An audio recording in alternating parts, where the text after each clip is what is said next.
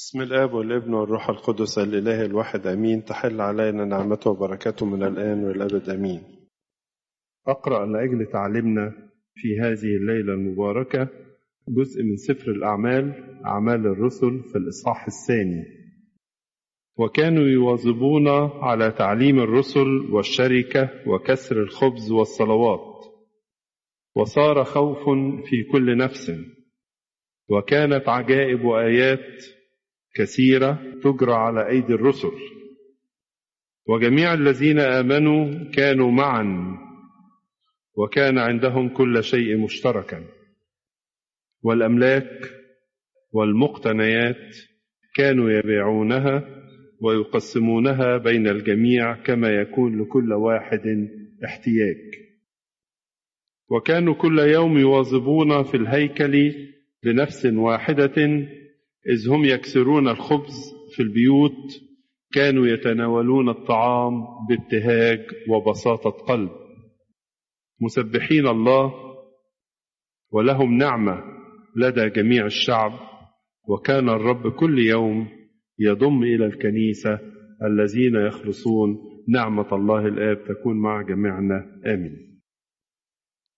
في هذه الليلة المباركة وضمن فعاليات أسبوع الصلاة الذي تشترك فيه كنائس العالم كله ونشترك فيه بالطبع كنائسنا في مصر.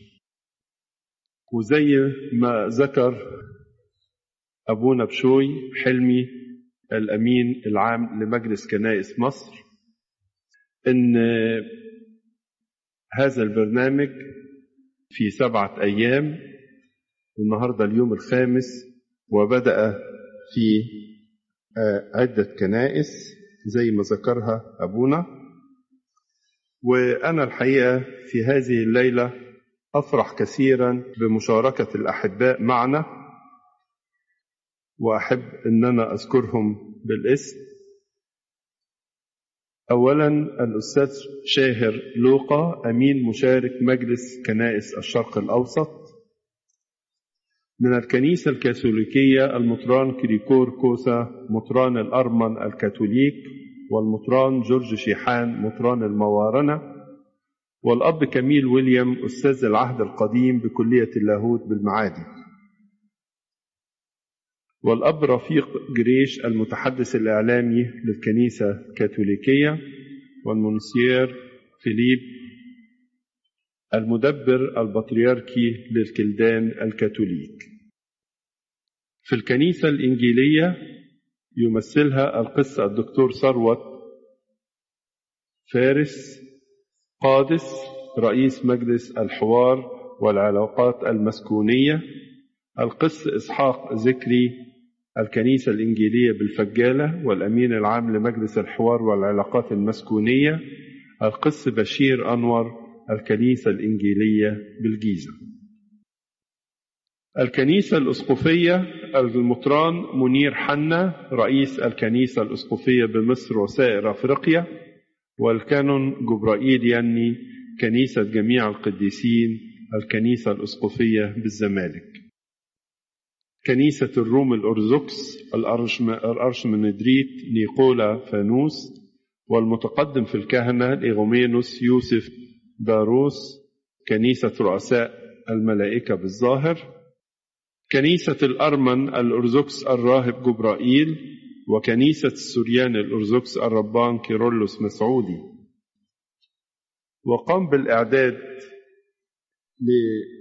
لأسبوع الصلاة كلجنة من الكنائس مثل الكنيسة الأرثوذكسية القس بيشوي حلمي والأستاذ جرج الصالح والكنيسة الكاثوليكية أبونا كميل ومهندس عصام عياد.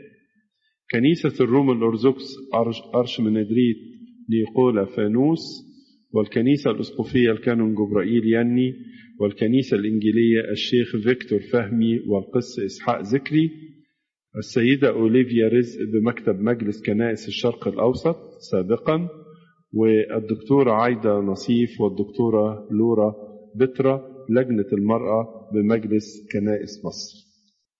أرحب بإخوتنا الأحباء والأعزاء في هذه الليلة.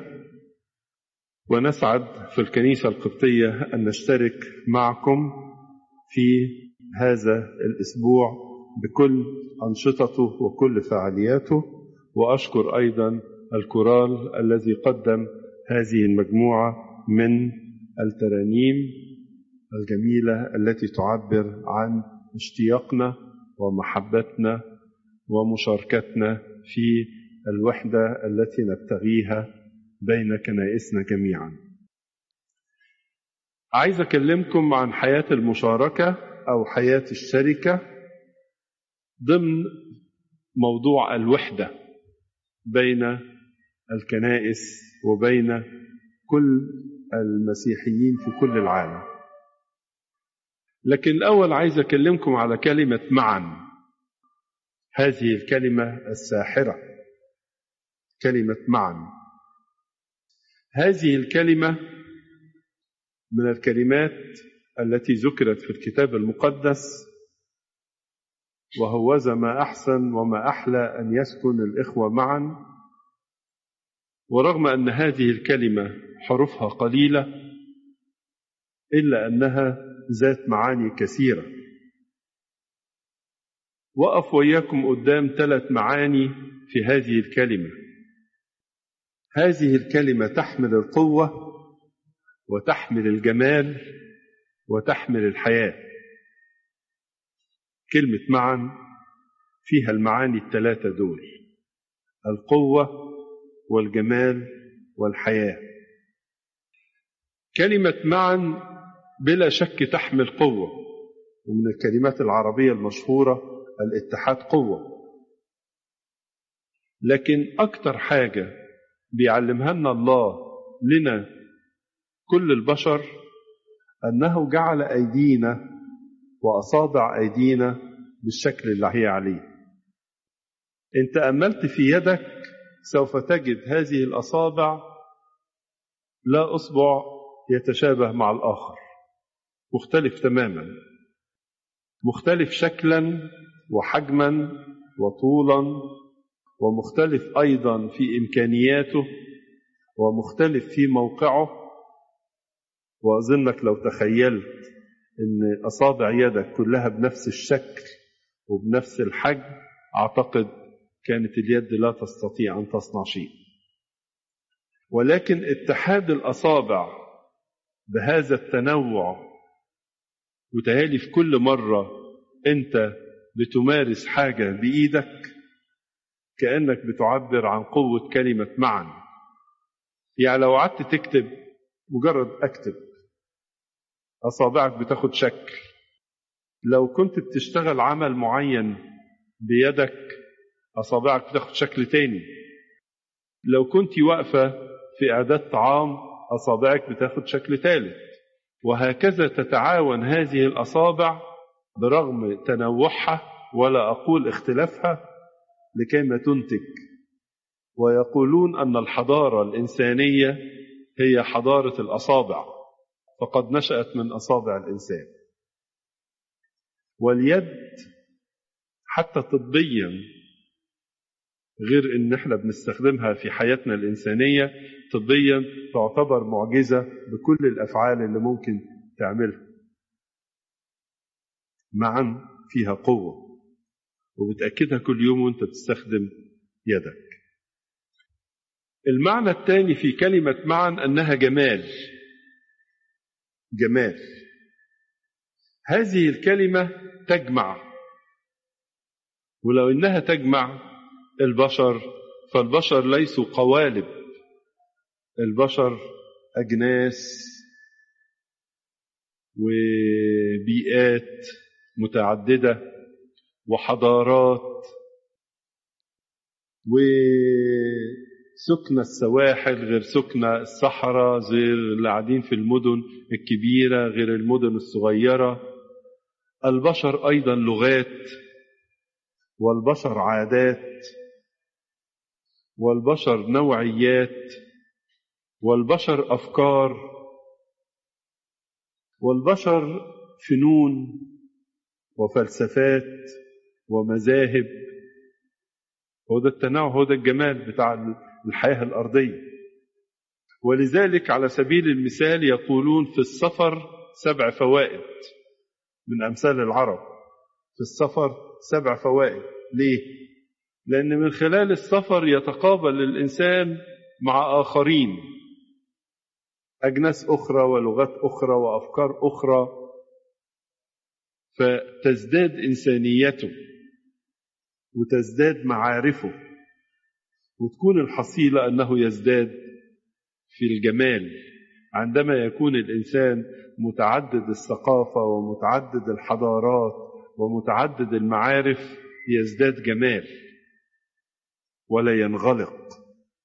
ويبقى قلبه, قلبه مفتوح للجميع ويبقى عقله متسع لكل شيء.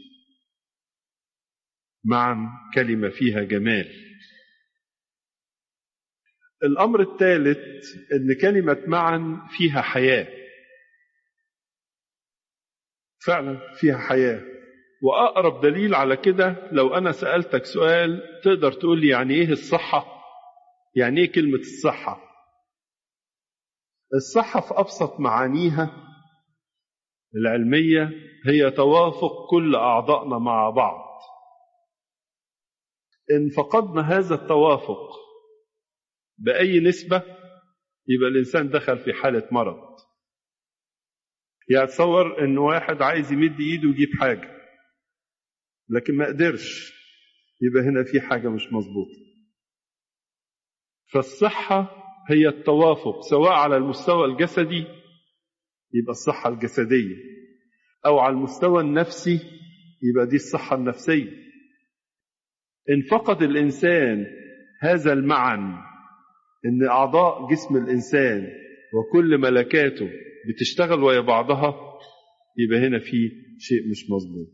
فكلمة معا بيعلمها لنا جسمنا. مثلا أنت لما بتاكل حاجة تبتدي أجهزة الجسم كلها تشتغل وكل واحد يقوم بدوره. ولو إنسان مثلا جاله شكل من أشكال التعب حموضة مثلا أو مغص أو أي حاجة. يبقى هنا في حاجة في توافق الأعضاء مع بعض مش مظبوطة. فكلمة معا تعني الحياة وأجسامنا وأعضاء أجسادنا تعمل معا علشان تظهر هذه الحياة وتظهر الصحة التي أعطاها الله لنا. ولذلك يا إخوتي هذه الكلمة نحن مدعوين مدعوون معا للمشاركة كعنوان تأملنا في هذه الليلة. حياة الشركة أو المشاركة لها جذور في إيماننا المسيحي. أول شكل من هذه الجذور شركة الأقانيم. نحن نؤمن باسم الآب والابن والروح القدس الإله الواحد. نحن نؤمن بإله واحد مثلث الأقانيم. نؤمن بالجوهر الواحد ونؤمن بالذات الإلهية الواحدة. ولما بنقول الآب والابن والروح القدس هو تعبير عن هذه الشركة. فإن كان الآب كلمة آب ليست عربية معناها أوريجين أو أصل. هو المحب والابن المحبوب ودي ألفاظ اللغة. فالروح القدس روح الحب. ويعيش الإنسان ونقول كده مسيحيتنا كلها تختصر في كلمة واحدة الله محبة. شركة. ولو أنا جيت وقلت لك أنا أحب تفهم من هذا التعبير إن في آخر أو في حد أو في شيء أنا أحبه. وفي علاقة ما ما بين الطرفين دول. شركة الأقانيم هي أول تعبير عن هذه المشاركة اللي بنقولها ولكن في الذات الإلهية الواحدة. الجذر الثاني وأنا بقول باختصار يعني كل موضوع من دول عايز له حكايات كتيرة. الجذر الثاني لحياة الشركة أو المشاركة هو في تكوين الأسرة المسيحية. الأسرة المسيحية عندما تتكون تتكون من ثلاثة. هو وهي والمسيح. وهذا الرباط المقدس اللي بيربطهم بيكون هذه الوحدة أو هذا الكيان. ويقول لنا ربنا يسوع المسيح إذا اجتمع اثنان أكون في وسطهم. يبقى هنا كده ثلاثة أو إذا اجتمع اثنان أو ثلاثة ثلاثة اللي هو بقى لو ربنا أعطاهم أطفال أكون في وسطهم. بمعنى إن هذه الشركة اللي بتكون الأسرة هو ده بداية الحياة وده الكيان اللي قصده الله من خلقة الإنسان في بناء الأسرة.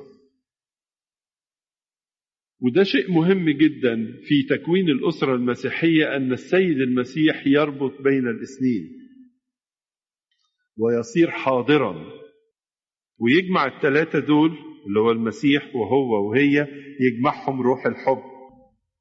وفي هذا أو في هذه الشركة الله يعطينا الثمر يعطي أبناء ويعطي بنات. كل أسرة بتتكون في كل مرة أنت بتحضر إكليل وتشوف أسرة بتتكون تعرف أن هذه صورة من صور الشركة. وصورة من صور الحياة المتعاونة. ومدعو للإنسان أنه يعيشها. عشان كده بنقول اللي يفسد الحياة الأسرية أول حاجة تفسد الحياة الأسرية الأنانية. والله يسمح بالزواج عشان الإنسان يتخلص من الأنا ويعيش في النحن وعندما تضع الكنيسة الإكليل تاج في أثناء مراسم سر الزيجة على سبيل المثال فهذا التاج عندما يوضع فوق رأس العريس بنقول له إن التاج ده هو يعني أنت تحمل زوجتك وأبنائك كتاج على رأسك. ولما نضع التاج على رأس العروس بالمثل لا أنت تحملي زوجك وأبنائكم كتاج على رأسكم. هو ده المدلول وده الفكر المسيحي الأصيل. الجذر الثالث في حياة الشركة في حياتنا المسيحية هو شركة الكنيسة. إحنا بنقول على الكنيسة في أحد تعرفها الكنيسة جسد المسيح. ونحن أعضاء في هذا الجسد. والكنيسة جسد المسيح وإحنا أعضاء فيها ليست عضوية انتساب. ولكنها عضوية حقيقية. دايما يميزوها كده في اللغة الإنجليزية يقول لك مش منبر مش عضو بس لا ده هو زي أورجن عضو متصل في جسد المسيح الواحد. ودي الكنيسة التي تجاهد على الأرض وتنتظر أن تنضم إلى الكنيسة المنتصرة في السماء. في شركة. ودايما كلمة الشركة نذكرها كتير في صلواتنا في قداساتنا. نقول له مثلا يا رب أنت أعطيتنا أن نشترك في تذكار قديسيك. إحنا الأحياء على الأرض نشترك في تذكار قديسيك اللي سبقونا على السماء. وده اللي بيخلي في كنائسنا يوجد حامل الأيقونات. حامل الأيقونات يحمل ملامح القديسين والقديسات الذين سبقونا إلى السماء. وكأنهم يتطلعوا إلينا لكيما يشجعونا على حياتنا وطريقنا الروحي وإحنا على الأرض لكي ما نلحق بهم ويكون لنا نصيب في السماء. نقول لأن هذا هو أمر ابنك الوحيد أن نشترك في تذكار قديسيك في شركة. صلواتنا هي شركة مع السمائيين. عندما نطلب صداقة القديسين أو شفاعتهم إنما هذه نوع من الشركة. عندما نقرأ في سير القديسين وسير أبطال الإيمان وسير الذين عاشوا في الحياة المقدسة هو شكل من أشكال الشركة. يبقى إذا بنأخذ روح الشركة من الأقانيم إيماننا بالله الواحد مثلث الأقانيم ومن تكوين الأسرة كل واحد فينا نشأ في الأسرة الأسرة الكيان الثلاثي ده أو اللي بيقول عليها القديس يوحنا ذهبي الفم الأسرة أيقونة الكنيسة. والحاجة الثالثة بناخدها من عضويتنا في الكنيسة وفي مشاركتنا في حياتنا المسيحية في الكنيسة. يبقى شيء إزاي أكون لي دور فعال في هذه المشاركة وهذه الشركة وهذه الحياة التي فيها كلمة معا؟ هقول لك على أربع أو خمس نقاط كده تساعدك في هذا الموضوع. أول شيء أول شيء تحطه قدامك إنك لازم تقبل نفسك. على رأي القديس ماري إسحاق لما بيقول اصطلح مع نفسك تصطلح معك السماء والأرض. يعني لازم من جواك تكون فرحان بنفسك مش متذمر على نفسك مش راضي أو مش عاجبك حالك.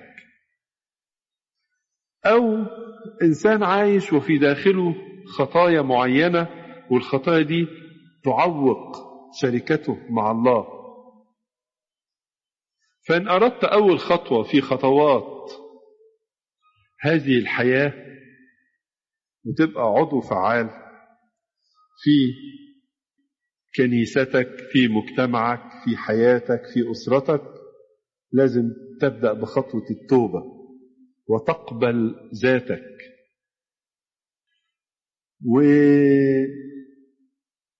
وتعتبر إن ده عمل كل يوم. لما الكتاب بيقول لنا في التطويبات على الجبل ربنا يسوع المسيح طوبى الأنقياء القلب إنهم يعينون الله. بمعنى إن بنقاوه قلبك ستمتلك قدرة ترى فيها الآخرين وتصل بك هذه القدرة أن ترى بها الله. تصور بقى تصور بنقاوه قلبنا أقدر أصل إلى رؤية الله ومعاينته. لو مين يقدر على كده؟ نقاوه القلب تقدر على كده وتوبة الإنسان. علشان كده كنائسنا في كل مكان عندما تريد هذه الوحدة إنما تبنى على أساس قوي من توبة كل فرد فيها وعلى أساس النية الخالصة في حياتنا وعلى أساس نقاوة قلب الإنسان. وتخيلوا كده ويايا إن كل أبنائنا في كل كنيسة على أرض مصر وخارج مصر في العالم كله عندما يقدم الجميع توبة ويقبلوا نفوسهم يتخلوا قليلا قليلا عن أي ذات أو أي أنانية وبالتالي ينفتح الجميع. يمكن إحنا النهارده في ثالث يوم في صوم يونان وصوم يونان بيقدم لنا شعب نينوى التائب. وكيف تابوا توبة جماعية؟ وكيف تحنن الله عليهم؟ وكيف كانت توبتهم أعظم مثال في توبة الشعوب توبة الشاملة اقبل نفسك وقدم توبتك. ولكيما تساهم في حياة الشركة قدم هذه التوبة على مستواك الفردي. الأمر الثاني أو الخطوة الثانية عيش إنسان صادق مع نفسك. كن صادقا. أحيانا الإنسان في حياته اليومية ما يكونش صادق. يكون من بره بشكل ومن جوه بشكل. أو خطية اليهود المشهورة خطية الرياء اللي في متى 23 يكرر كتير ربنا يسوع المسيح ويل لكم أيها الكتبة والفريسيون المراؤون. لأنكم بتعملوا حاجات ظاهرة فقط ولكن جوهر الأشياء ابتعدتوا عنه. ابتعد عن الرياء ابتعد عن الأقنعة واحد يلبس ماسك. ابتعد عن الخيال. عيش في حالة صدق مع مجتمعك مع كنيستك مع إلهك. كن إنسان صادق. في واحد بيخدع نفسه في واحد بيضحك على نفسه في واحد بينسى نفسه وفي واحد صادق في حياته. ولذلك في كنائسنا توجد مواسم وأعياد وأصوام واحتفالات لكيما ينتبه الإنسان ولكيما يستيقظ وياخد باله من نفسه. عيش الصدق في حياتك. وخلي الصدق ده طريقك باستمرار. وخلي الصدق ده هو هو أسلوب نجاحك. هو أسلوب معاملاتك مع الجميع. الصدق يا إخوتي يدخل تحت باب الأمانة. ومكتوب على الأمانة كن أمينا إلى الموت فسأعطيك إكليل الحياة. فكأن أمانة الإنسان وصدقه مع نفسه مع الآخرين ومع الله تفتح له الطريق لكما يكون له إكليل في الحياة. كن صادقا. الخطوة الثالثة في حياة المشاركة امتلك ناصية الحب أو اتقن فن الحب. كيف تحب الحياة وكيف تحب كل إنسان وكيف تحب الخليقة كلها في الترانيم اللي قدموها الأحباء في الكورال وفي التسابيح الكنسية بنخاطب المسكونة كلها. البرد والحر والأيام والنهار والليالي والجبال كل الخليقة لكما تشترك ونقول كده سبحوه وزيدوه علوا ومجدا. اجعل قلبك لا يعرف غير هذه المحبة. ما تخليش قلبك بحجمه. قلبنا ده في حجم ايدينا كده. خلي قلبك ده يتسع للعالم كله ويتسع للعالم عندما يسكنها الله. وبقلبك المملوء بالمحبة المسكوبة من شخص ربنا يسوع المسيح تستطيع أن ترى الوجود كله جميلا وترى في كل إنسان جمال. دايما عالم الأنانية ضيق أما عالم المحبة فواسع. عالم الأنانية قسم يقسم الناس أما عالم المحبة يضمهم جميعا. على رأي القديس أوغسطينوس لما بيقول حب الكل فيكون لك الكل. حب الكل. وخلي قلبك كده واضح في هذه المحبة لكل أحد. وعيش هذا الاختبار أن المحبة لا تسقط أبدا. وعيش الاختبار ده في حياتك اليومية. وعيشه في كنيستك. وعيشه مع كل إنسان. وهي دي الخطوة أساسية أيضا في حياة المشاركة. ما بيننا جميعا المحبة. لا ينقسم قلبك في الحياة على الأرض نعيش هذه المحبة. وتمتد معنا حتى إلى السماء. الإيمان والرجاء ينتهي على الأرض. أما المحبة تستمر معنا إلى السماء. وعلى قدر الحب الذي تقدمه على الأرض بصدق على قدر ما يكون لك النصيب الكبير في الملكوت. دي الخطوة الثالثة. الخطوة الرابعة خلي إيمانك بالسيد المسيح إيمان حاضر وقوي. وما تنساش وعده اللي قاله لنا في نهاية بشارة معلمنا متى؟ الرسول. ها أنا معكم كل الأيام. وإلى انقضاء الظهر ها أنا معكم. ويمكن أول اسم بنقوله لربنا يسوع المسيح في أعيادنا بحسب الكتاب نقول اسم عمانوئيل. الله معنا. عيش هذا الإيمان وتمسك به الله حاضر والله عامل والله قادر والله ضابط الكل. وهذه الحياة التي نحياها مضبوطة في يد الله. عيش الإيمان ده ولا تجعله إيمان نظري خليه إيمان عملي. وخلي إيمانك حي. اوعى اوعى يجي في خاطرك كده إن الإيمان بقى موضة قديمة. ولا إن عشان الدنيا بقى فيها تكنولوجيا حديثة وفي اتصالات وفي آه اختراعات عظيمة عملها الإنسان. لا تنسى إن كل الاختراعات التي على الأرض والتي تبهرنا هي نتاج العقل الذي خلقه الله. فهي نتاج يد الله اولا وأخيرا. فخلي إيمانك حاضر والله ما زال يعمل وسيظل يعمل إلى نهاية الدهور. وما بينساش ابدا. والله حاضر. ومهما كانت الصلوات التي ترفعها حتى وإن كانت قصيرة أو قليلة الله يسمعها والله يستجيب. والله في الوقت المناسب يعطي الاستجابة.